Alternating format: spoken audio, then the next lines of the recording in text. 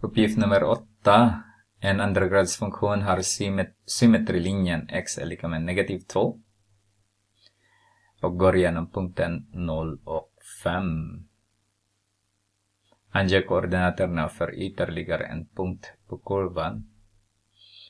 Eh, ja, ska vi titta först symmetrilinje då. Så om jag tar kanske en linje här. Så x är lika med negativ 2. Det är min symmetrilinje. Det vill säga, den fungerar som spegel. Om jag har 0 och 5 där. Där är min, nej, förlåt. Jag tar en punkt 0 och 5 där. Där är punkten. Då har vi spegelbild någonstans här. Den går ditåt. Där har vi.